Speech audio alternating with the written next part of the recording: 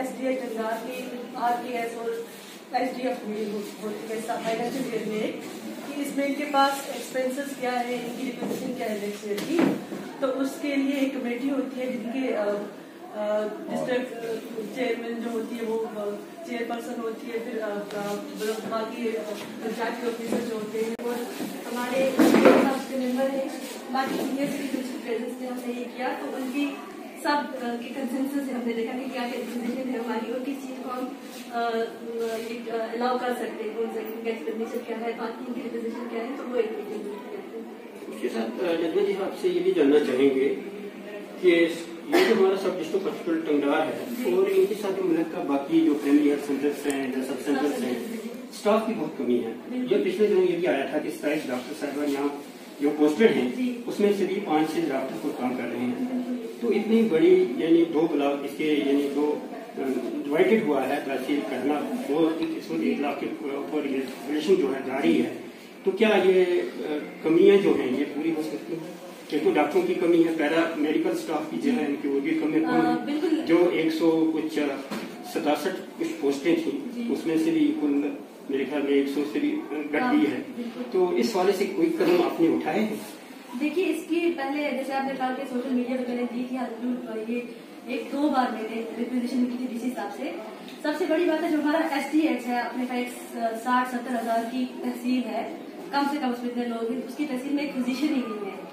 तो बाकी स्टाफ की तो हमारे जो भी मसाले हो गायनकोलॉजिस्ट हुए ऑपरेट कर रहे हैं, उनको एडमिनिस्ट्रेशन का काम नहीं होता उनको पूरे करना के जो फीमेल पेशेंट्स होती हैं, वो देखने होता है। इन पे इस वजह से कितना वर्कलोड है, वो कितना अफेक्ट होता है, हमारे कुछ सब सेंटर्स ऐसे हैं जहाँ पे सिर्फ़ स्ट्रक्चर नाम के सब सेंटर्स है।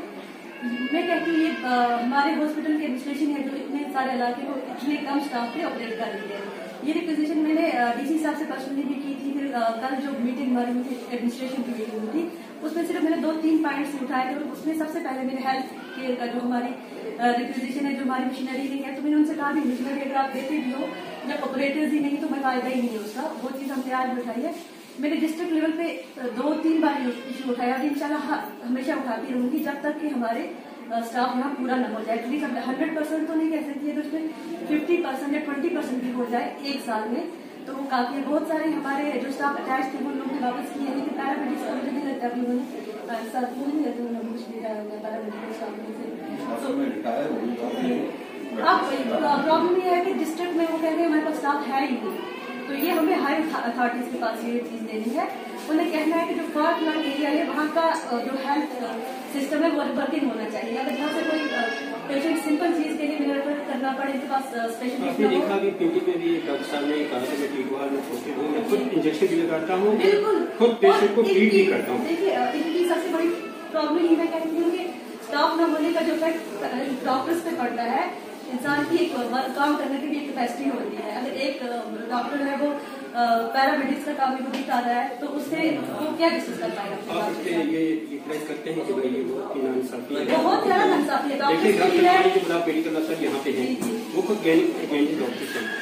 वो एक को ब्लॉक मेडिकल अफसर का काम भी चलाते हैं। एडमिनिस्ट्रेशन भी चलाते हैं उसके साथ जब से यहाँ आए हैं मेरे ख्याल में इन्होंने कोई पेशेंट भी बाहर रेफर नहीं किया है पहले ही आप देख रहे थे यहाँ सबसे बड़ी बात तो मुबारकबाद की ये है जैसे ये इतने कम स्टाफ पे ऑपरेट कर रहे पूरे करनाट मैंने इनको बहुत बार कहा कि आपके लिए मुबारकबाद है और इसके बावजूद हम जितनी बार कॉल करते हैं इनको कि सर वहाँ पे उस सब सेंटर में आप कुछ अरेंज कीजिए तो ये अपने स्टाफ से प्लस माइनस कभी यहाँ से उनको वहाँ भेजते हैं वहाँ से लाते हैं तो ये ऐसे एडजस्ट कर रहे हैं। वो वर्कलोड इन पे भी है मैंने इनकी सीओ मैम से बात की है मैंने कल आपसे कहा कि वहाँ से बात की हम आगे दिन चलाइए जहाँ तक मुमकिन होता है ये बात हम उठाते रहेंगे। जब तक कि हमारा स्टॉक में कहते हैं अगर हंड्रेड परसेंट नहीं होगा फिफ्टी परसेंट हो जाए तो वो हमारे लिए बहुत खुशी की बात है। बहुत शुक्रिया